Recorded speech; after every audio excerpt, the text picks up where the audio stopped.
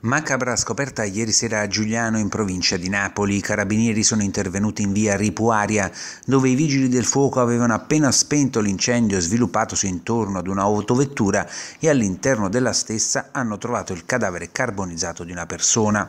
Dopo i primi accertamenti, nonostante non si sia potuto procedere subito all'identificazione, si è giunto alla determinazione che si tratti di un uomo.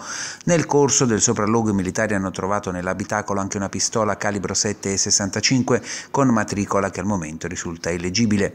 Accanto al cadavere è emersa anche un'ogiva dello stesso calibro, ciò lascia supporre agli inquirenti che l'uomo sia stato ucciso da prima a colpi di pistola e poi il cadavere, che era nel portabagagli della vettura, dato alle fiamme insieme alla macchina. I carabinieri intanto sono ancora alla ricerca dell'abituale utilizzatore della vettura che non è risultata rubata. Le indagini, secondo quanto trapela, si concentrano soprattutto nell'area del Giulianese.